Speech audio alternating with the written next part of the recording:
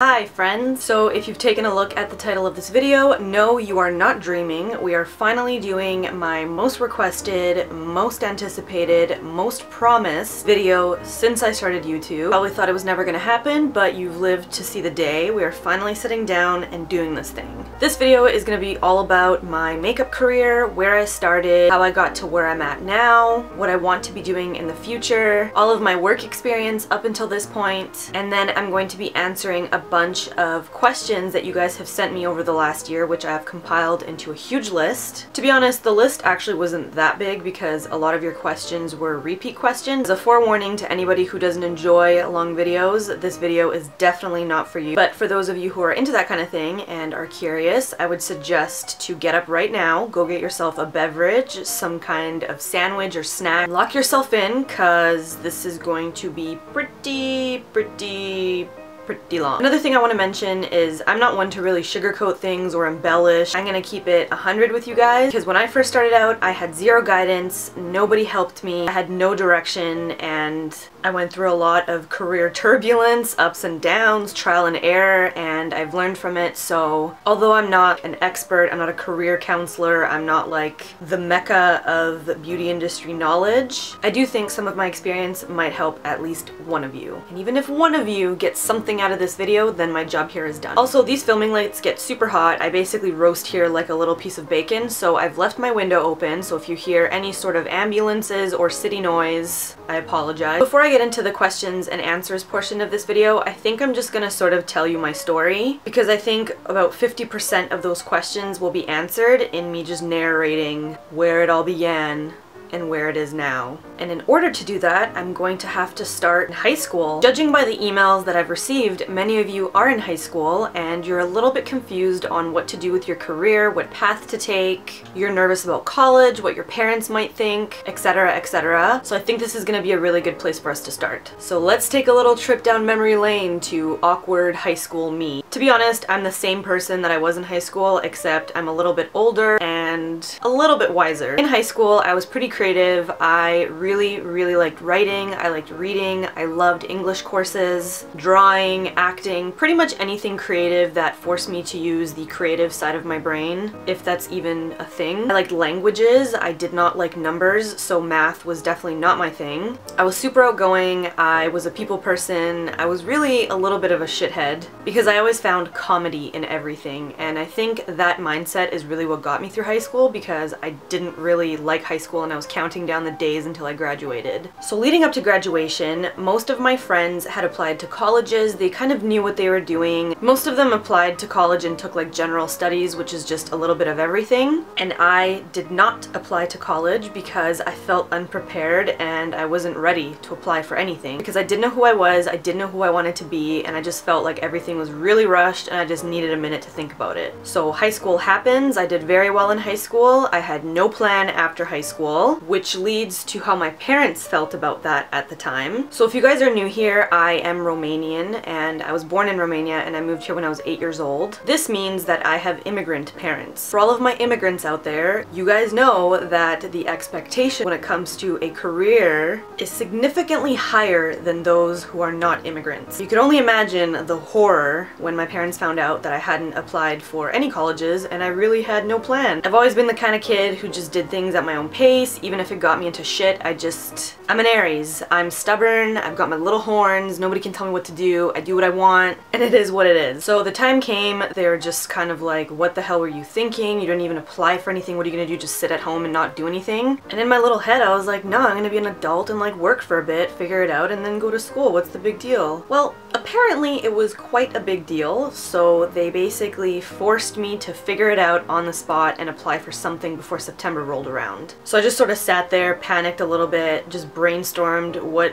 what do I like doing? I have a big mouth. I love talking. I love being around people. I like media. Broadcast journalism. I don't know why, but that's what I chose. So I took a year of broadcast journalism, I took some radio courses, I did some creative writing, and after that year of basically sitting in front of a teleprompter having it spew words at me and forcing me to say what was on it, I realized that was not my forte. It would have been awesome to be a news anchor or be on an entertainment show or do all of that kind of stuff, but I'm just not the type of person who likes to be told what to say, when to say it, how to say it. So I just sort of took a step back and I was like, alright, this isn't for me. Being on YouTube and doing this is very different from being in front of a camera that's basically dictating what you need to say. YouTube, I run my own show, I say what I want, I'm myself. I just kind of do my own thing and it's a lot more natural for me. So I threw in the towel and then I was back to the drawing board. And then I kind of started digging really deep and sort of thinking about what I liked doing growing up. So when I was very little, I used to love drawing outfits. I absolutely loved making little clothes for my Barbies. I used to sew them by hand. I used to have little sketches. I also remembered as a child, I was very into makeup and hair. I completely cleaned my mom's makeup collection out at about age five.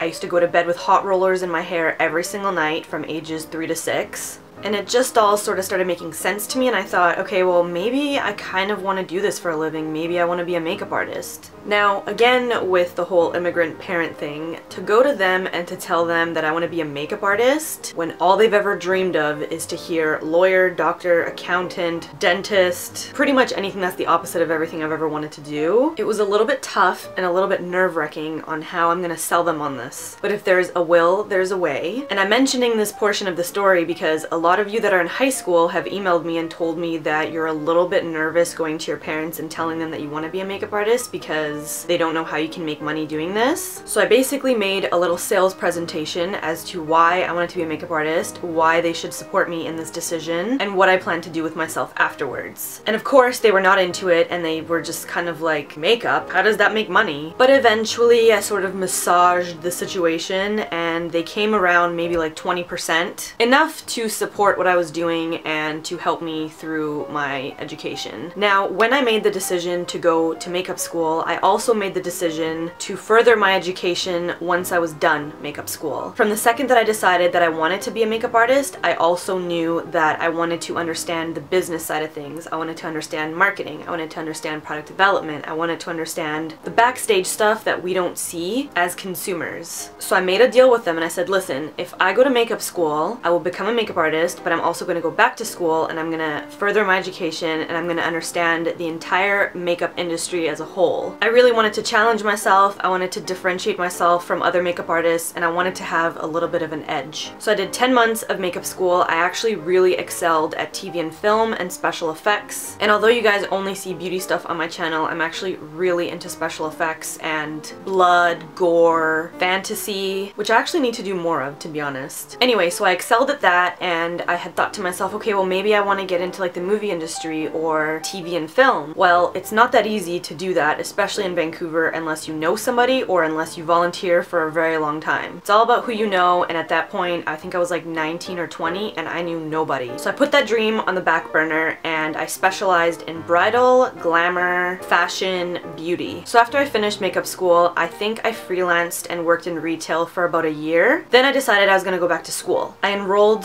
to BCIT, which is a technical school here in Vancouver. I did a two-year marketing communications program. It was the hardest two years of my entire existence, but I would do it all over again because it totally changed my life. And throughout my entire time at BCIT, I was still working in retail, I was still freelancing, so my life was completely jam-packed. The first year of BCIT was kind of like academic hell. I would describe it as Satan sitting in his fiery office designing this horrendous program. And I think the reason it was so hard is because they wanted to weave out the weak ones and see who would rise on top. It was like the Hunger Games of academics. Survival of the fittest. So I made it through first year and I was shocked that I made it because there were many times where I wanted to just drive my car into a ditch but I made it. Second year was a little bit more specific to communications and we were given the opportunity to intern for a company. So they gave us like a list of companies that were looking for interns. There were ad agencies, there were companies that had marketing departments, communications companies, etc, etc. And amongst the pile of internships, I noticed one internship that was in the beauty industry that was product development for a small company and it was the only one that I applied to. So this shows my personality again. There's all these these internships, I apply for one. I didn't apply for other ones, so basically if I didn't get this one, I'd be completely screwed in second year. But I was like, I want you and I'm gonna have you. So I interviewed for the internship, and you know your girl got it. And the second half of second year, I interned there three times a week. I continued to work in retail, I continued to freelance, and I continued to go to school. During my internship, I met a really awesome girl. She was the brand manager at the time and she taught me everything I know about product development and if you guys are unfamiliar with product development, it basically means what it says, developing products. So anything from the idea to actually manufacturing the product to actually getting it onto the shelves. Dealing with factories, dealing with costing, dealing with negotiating, packaging, everything that you see in one product, I learned how to make it from scratch, which is pretty dope. So she taught me everything she could in the matter of three or four months and after I finished my internship and after I graduated they hired me on full time because I guess they fell in love with me. So I worked there for almost a year I think and then my contract was up so I went back to freelancing and retail. Now a big reason why I even got the internship to begin with was because of my retail experience. So it's interesting how all of these things sort of come together. I was the only one that had retail, freelance, and makeup artistry experience, so obviously I had a passion for it. Had I not worked in retail, who knows if I would have gotten the internship to begin with. And then a few months later, I had gotten a phone call from the brand manager, which is the girl that I was working under, and she had told me that she found her dream job in fashion and that they were looking to replace her and that she had kept me in mind. So I went there, I took the job, she basically trained me in everything that she did, and this is the part that I've struggled with filming up until now because she recently passed away.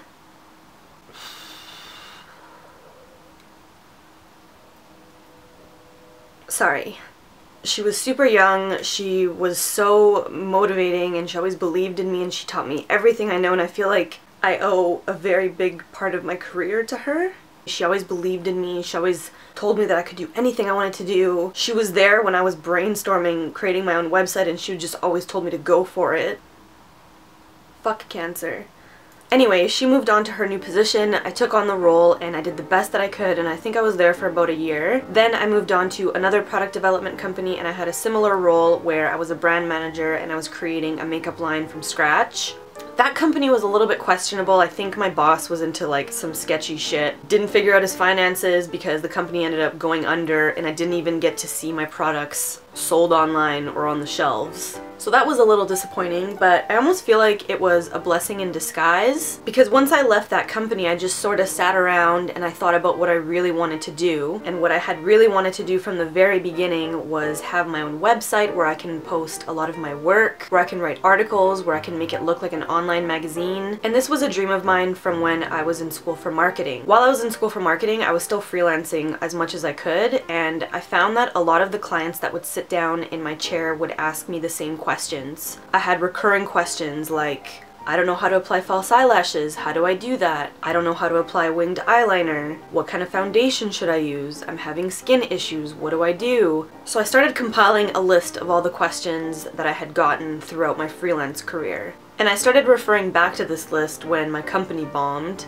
and I was like, man, I should really try to build my own website. I mean, I learned about it in school. I know how to build a website now. I think I'm pretty good at advertising and I know how to create one. I understand all the software, why not just go for it and what's the worst that can happen? So at this point, I was still freelancing, I was still working in retail, I still had contract jobs doing marketing here and there, and I would stay up every single night until the crack of dawn working on my website. And in December of 2011, the Beauty Vault was born. I had taken an idea that I had kicking around in my head for years and years and I followed through with it and I had something to show for it I ended up making a Twitter account, I ended up making a Facebook page, and shockingly people were reading my website, which was so crazy. I have a very supportive group of friends, and obviously they totally hoard out my site to everybody that they knew. And as the site was getting more traffic, a lot of people started suggesting that I do videos because it's a lot easier to explain something in a video format than it is reading an article. And if you guys go to my website and look at some of my old articles, you'll notice that it looks like an online magazine. That's kind of been my style from the very beginning. So more and more people were telling me like, hey, your website's dope, but it would be super awesome if you did video. And I was like, man, I'm awkward. I don't think I could be in front of a camera and do that. Like, that's not really my jam. Do we remember broadcast journalism school? But eventually I caved and I ended up purchasing a camera on a whim, setting my camera up in this very room and awkwardly filming my first video where I was basically like, hey guys, I'm putting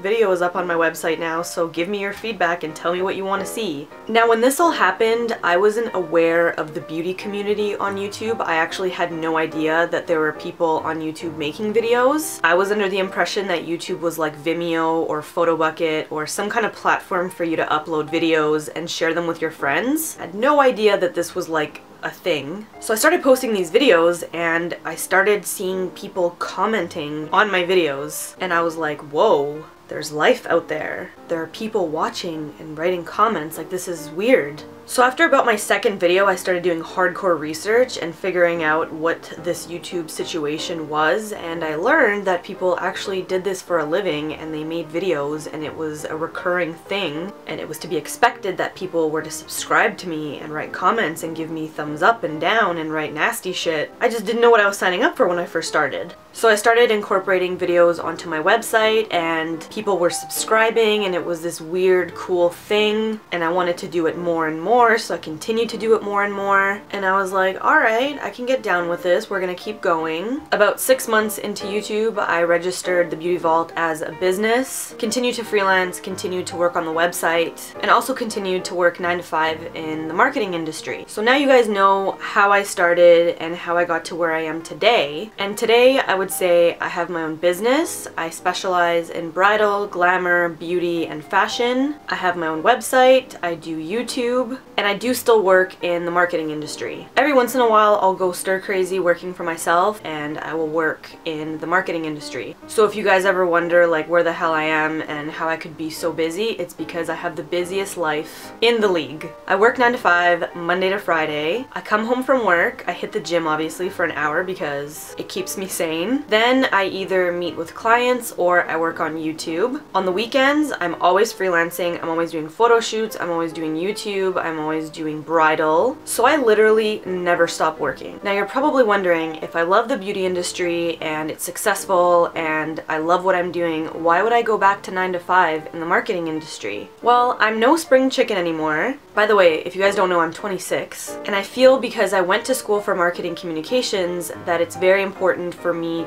to keep my resume up to date and beefed up in that industry, just in case. One day I could lose this, and this is the moneymaker. What happens if I lose my right hand? What am I gonna do? I need a backup plan, right? Maybe one day I'm gonna make lots of babies and I'm not gonna have time to freelance. I think it's good to have a backup plan. Maybe one day I'm gonna wake up and realize I absolutely hate lipstick. That would probably never happen, but let's just say one day I wake up and I decide I want to be in a different industry for whatever reason. And I'm making this point because I feel like it's very important, even if you do get into makeup artistry, try to think outside the box and always think, what else could I be doing to differentiate myself from the next makeup artist? I don't mean to sound like a downer or like a granny telling you stay in school kids, but it's really valuable even in the beauty industry. Going to school and being a makeup artist is absolutely amazing. You actually don't have to go to makeup school to be a makeup artist by the way. But aside from freelancing and working in retail, there's a whole other world of beauty that not a lot of people get involved in and it's the business side, it's the marketing side, it's backstage, it's how do these products make it out on the shelves. There are so many jobs in the beauty industry, it's ridiculous. And many of those people in those roles might be really passionate about makeup, but just might have a degree in something and ended up in that position. And that could be your position. I'm just saying, explore your options and don't just narrow it down to I want to be a makeup artist, so I'm going to go to school for it, and then I'm just going to freelance forever. Because it's just nice to have options. Am I going to stick to 9 to 5 for much longer in the marketing industry? I can't give you a straight answer. Let's just say when I'm at work, I think about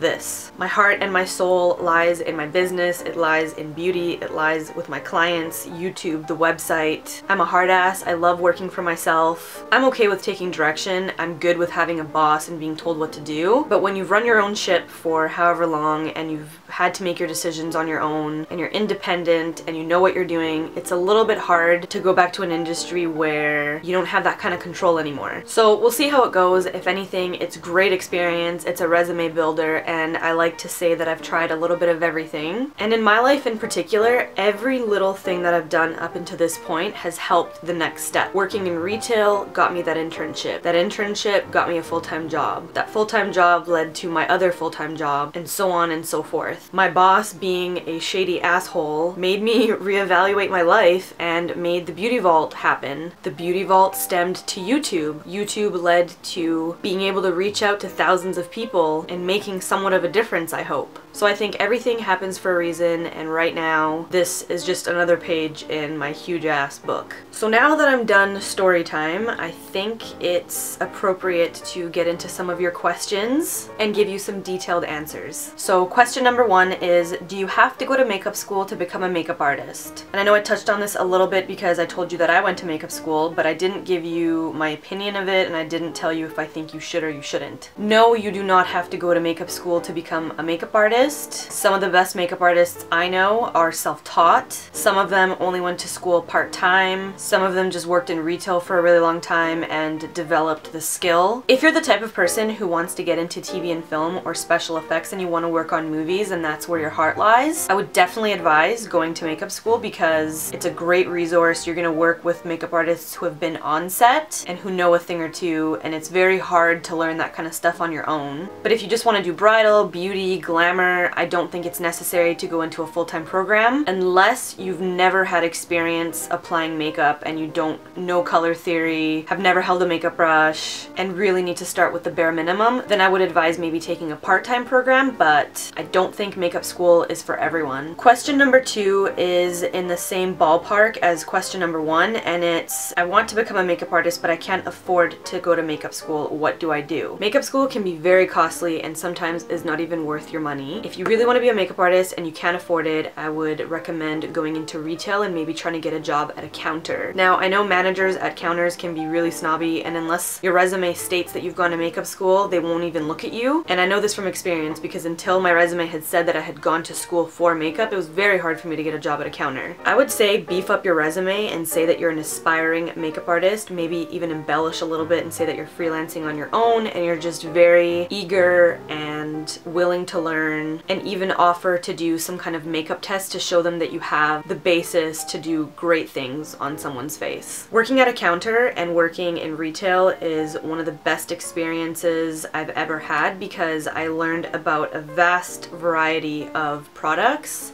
different brands. I had different people sitting in my makeup chair every single day of different ages, eyelid shapes, pigmentation, even people with skin conditions, which could be a little bit difficult sometimes, but it's awesome practice. So I would say if you can't afford to go to makeup school, just do it on your own, honestly. Practice, practice, practice. Use everybody that you know as a guinea pig and try to get work for a counter. The next question is, do I have to go to the most expensive makeup school to make it? Does the reputation help? This is something I'm very passionate about because I find a lot of people get suckered into paying a shitload of money for nothing. I was one of those people and I'm not going to disclose where I went to school but I think it's very obvious where I went to school. I paid a lot of money to go to makeup school and I feel like up until this point in my career I have been fully responsible for my career and for my success and I don't think the school that I went to helped in the least. I went to school and I already had an inclination towards makeup, so I kind of knew my way around makeup brushes and people's faces, different eye shapes, etc, etc. I find that oftentimes world-renowned or super expensive makeup schools are just a title. And you can take this how you want, I'm just trying to be real with you guys and give you honest, sound advice. Oftentimes people pay an arm and a leg to go to makeup school and they're hyped, they're pumped up, they hear what they want to hear. You're gonna do amazing, you're gonna be a celebrity makeup artist, you're gonna be in Hollywood, you're gonna be doing this, you're gonna be doing that.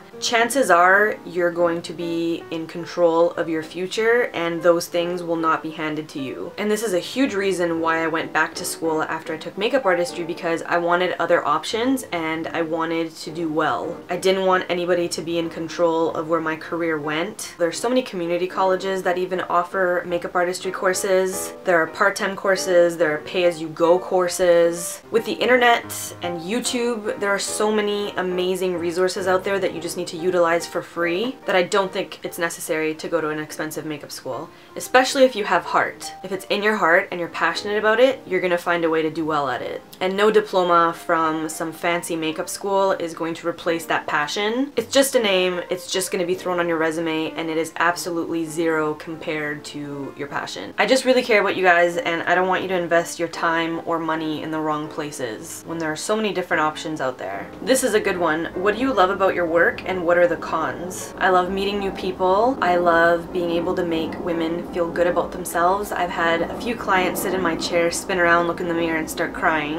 And it made me cry because they felt like they were unrecognizable, and I don't think they ever really saw themselves in that light before. All I did was enhance the beauty that already existed. But it's a really cool, overwhelming feeling to make somebody else feel that way. I love my work because I feel like it led me to where I am today and led me to you guys, which honestly means the world to me. And it's just cool to know that I can inspire, motivate, teach a thing or two. I guess the only con I have with my work is when I'm fully self-employed, sometimes I just get kind of lonely. Having a small business and working for yourself and freelancing full-time and doing YouTube by yourself and working on the website by yourself can get a little bit lonely. You almost start going a little stir crazy sometimes because you don't have coworkers, it's not like you can go out for lunch with someone. And that's a big reason why I like to switch it up once in a while and work 9 to 5 because I find a lot of my good friends I've made through full-time jobs. But as long as I surround myself with awesome friends and family, I like to give myself days off once in a while and actually like let loose. That's probably the only con. I can't think of anything. I love what I do. This is also a great question. When you started, how did you get clients or did you work in a salon? How did you find your clients? When I first started, I was much like anybody that started, super confused, no idea what to do, how to make money, how are we gonna do this, and don't have the mindset of I need to do this to make money. What you love doing just happens to generate income, which everybody wants. Everybody wants to do what they love and just happen to make money from it. Let's be real. So when I first started, obviously it was a struggle. I was in retail and some I would have repeat customers and it was a little awkward like writing down my information for them to hire me outside of work. So what I did is I designed and made my own business cards and myself along with everybody in my life that loves me and cares for me and wants me to do well hoard those things out like nobody's business. And that's what everybody in your life should do. You should give a stack of business cards to everybody who you know, who's friends with you, who's related to you. I unfortunately don't have very much family in Canada. I just have my parents, my sister-in-law, my brother, and my niece. But I do have a very supportive group of friends, so I gave them each a stack of my business cards and they handed that shit out to anybody who even had mascara on. Anytime the topic of makeup comes up, you hand out your business card. Shameless self-promotion is going to get you very far, especially at the very beginning. And if anybody's judging you or has something to say, you don't need that kind of negativity in your life anyway. If you can invest a little bit of money into a website, I would highly recommend it. You should start a Facebook page, you should start a Twitter account. Social media is the future. You need to get yourself onto social media and talk about relevant topics, post photos of your work, get an Instagram account. You gotta hustle, girlfriend. Life of an entrepreneur. Donald Trump, is that you? Next question, can you tell me how you get frequent jobs? I have been super lucky and I have had really awesome clients in the past that have referred me to everybody that they know. I've never paid for marketing or advertising anywhere. I've just been lucky enough to know people that need a makeup artist. I have some friends in the industry, but not really. I think I know maybe a handful of makeup artists. So if they can't do a gig, they'll refer me, but mostly it's through word of mouth and my reputation. The photographers that I work with will refer me, so it's usually just sort of shameless self-promotion and word of mouth from past clients or people that I work with regularly. Have you ever had any nightmare clients and if so, how have you dealt with them? Again, I've been really, really lucky and I hope I'm not jinxing this, but I've never had a nightmare client. I've had some cranky like bridesmaids or wedding parties because it was really early and they had some beef with the bride so they kind of took it out on me. I just kill them with kindness. I'm a people person and I love chatting people up and although I'm not a total girly girl, if I sense that a girl's got a chip on her shoulder, I'll just kill her with kindness and then she feels like an asshole and then she's forced to be nice to me. It's like being mean to a little puppy. How can you do that? If you do find yourself in the situation where you have a really terrible client, I would just be super professional about it and don't let it get to you because at the end of the day, they're paying you to be there and you're gonna leave with a nice paycheck. The trouble isn't usually with clients that you know and love that you have in your makeup chair who you've established some kind of a relationship with. It usually happens when you go to like a random gig or like a photo shoot and you're called last minute and you're dealing with these girls who think they're Tyra Banks and they ask you to go get their water but you're the makeup artist and then you just have to very respectfully put them in their place and let them know what your job is and that you're not their waitress or servant or assistant. I've had to do that a couple times and although I don't enjoy doing it, unless you're a celebrity showcasing model and this gig determines the rest of my makeup career, it's not gonna go down like that with me. It's just a matter of being respectful and knowing that you're both there to work and you need to work together in order for this photo shoot to go well. And just establishing where you stand and what your role is and being professional about it.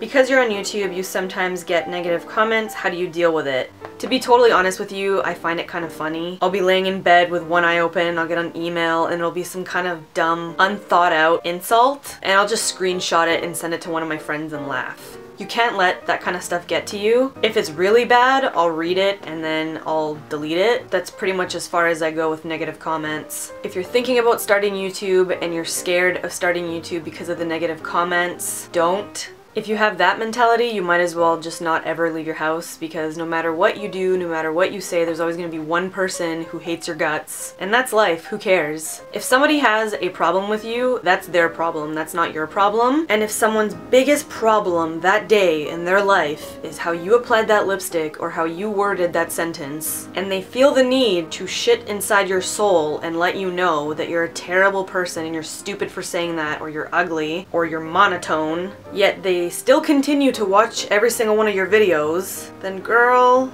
they got bigger problems than you. Trust me. That's the weird and creepy part when somebody just like hates your guts but continues to watch your videos. Like that's questionable. That's kind of a red flag for sanity, no? Next thing you know, you're gonna show up outside my house, put a bag on my head, skin me and wear me like last year's Prada. Step away from the keyboard, girlfriend. So that's my answer. Just brush it off, ignore it, and move on with your life. A lot of these people don't realize that life isn't like a guarantee. Anything could happen at any moment. You could die tomorrow. Literally, you could die tomorrow. Holding on to that stuff or letting a complete stranger dictate your feelings for that day is just a waste of life for me. In the grand scheme of life and things that matter, that's like below negatives in my book. And that's about as far as I'm gonna talk about the whole haters thing in general because it's just not worth my life. Ain't nobody got time for that and remember this is the chill zone. We keep things chill around here. How do I take my love for makeup and make it into a business? This sort of stems back to what I was saying about going to makeup school, whether or not you need to go to makeup school if I think that you could be self-taught. The one thing that I would advise for anybody who wants to take their love for makeup and their love for freelancing and really make it into a business is to maybe consider taking some part-time business courses,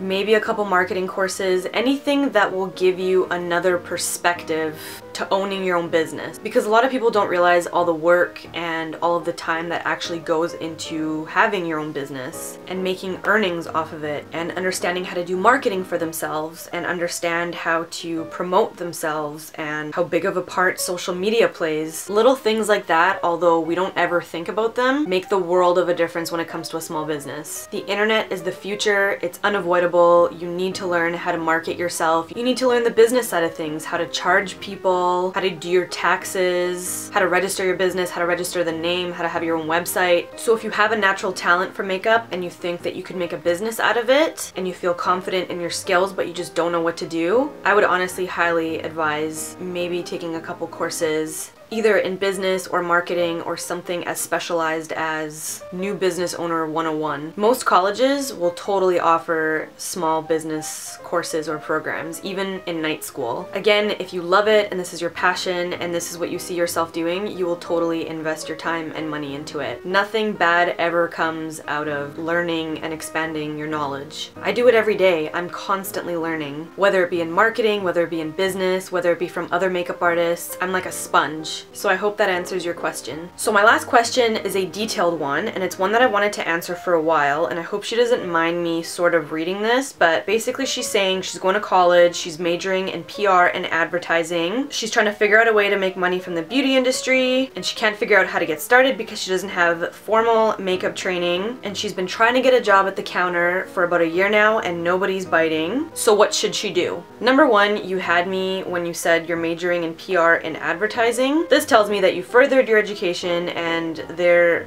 is a huge opportunity for you to work in the beauty industry and do PR and advertising. I would suggest starting a blog and just writing about the things that you like. Because you have PR and advertising experience, you probably have strong writing skills. Then I would just say beef up your resume, put on there that you write a beauty blog, you're an aspiring makeup artist going to school for PR and advertising, and just embellish things. Honestly, these counters are really hard to crack and they can be a little bit chachi and selective of who they hire if they don't go to makeup school, which half the time honestly is their own loss, but embellish your resume, start practicing on everybody you know, tell them you're willing to do a makeup test if they want, but above all of those things, start your own blog. It can be extremely inexpensive to do. I think you can even do it for free now. It could be a great creative outlet for you. It can get your name out there, you can put it on your resume, you can have something to show for your passion for the makeup industry. Those are my suggestions, but I think you'll be alright.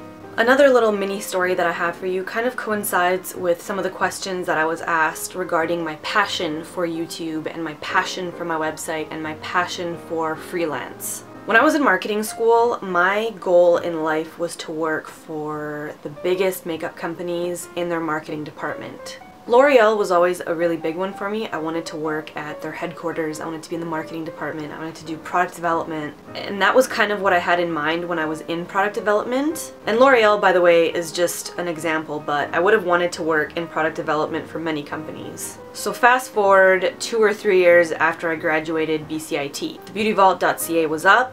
I started making videos. I was fully freelancing. I was totally happy. My resume was online so anybody could access it. I was applying for product development jobs because I was trying to achieve my dream job at the time which was working for a huge company in marketing. And several times I was presented with my dream job. Now these types of jobs in Vancouver specifically are very rare. If I to move to Toronto, New York, or any sort of fashion capital, I wouldn't have that hard of a time finding this dream job of mine. So anyway, they were presented to me. I had interviewed for a bunch. The interviews went spectacular. I was so amped. I was ready to take these jobs. And then obviously all it takes is a Google search and you can find my website, you can find my YouTube, you can find any work that I've done. So these job offers were presented to me and I almost crapped my pants with excitement.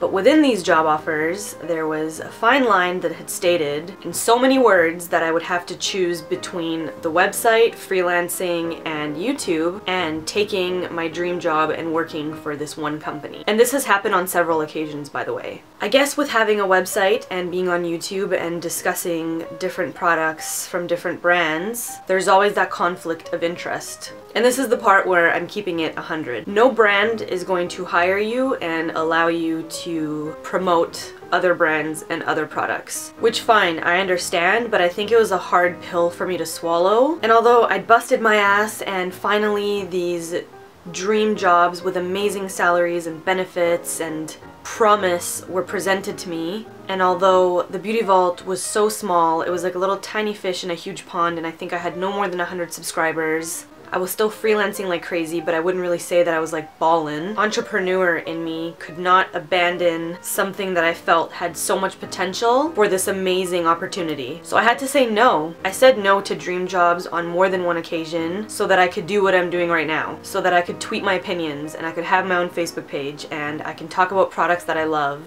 so that I could have a voice. So anytime I get the odd shithead in the comments being like, Ugh, you're so monotone, you don't even want to be here.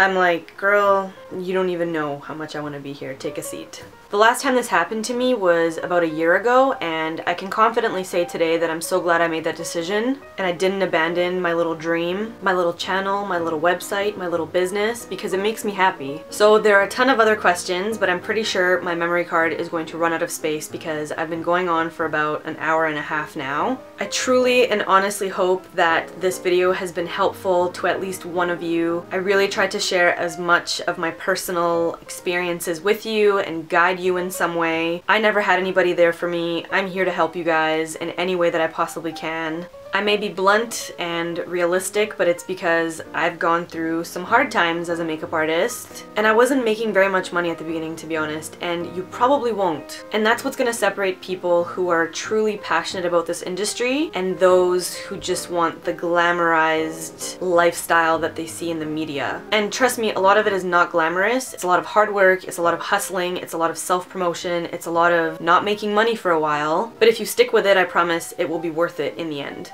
I feel like this was a good video for you guys to learn a little bit more about me, what my life is like, why I say some of the things that I do on YouTube when it comes to certain products. When I look at a product, I look at it not only as a consumer, but I use my marketing and product development brain to figure out the packaging, the price of it, why I should pay that price, is it worth that price, should it be a part of my life, and so on and so forth. And as for the future, honestly, at this point in time, I'm only about 40% where I want to be in my career. I have a long way to go until I have my dream occupation. Long term, I would love to have my own studio where I do photo shoots with my photographer. That's something that we always talk about. I guess with my product development experience, it wouldn't be too shabby having a line of my own or something of my own considering I've gone through the motions before and I feel like I kind of get it. So I don't know, I guess we'll see, but I'm glad you guys are here to watch me along the way. Really appreciate it and honestly your support makes me want to do what I'm doing and makes the struggle sometimes totally worth it. So thank you. So if you guys have any other questions regarding freelance, the industry, my experience, anything to do with makeup artistry, please leave these questions in the comments below because I'm going to be using them for my next next video. And just in case this comes up, the makeup that I have on right now is actually the same makeup from my bombshell makeup tutorial, which I will link in the description box below. Thank you guys very much for all of your questions, all of your emails, all of your support, for watching this video, for sticking with me. It truly means the world to me. You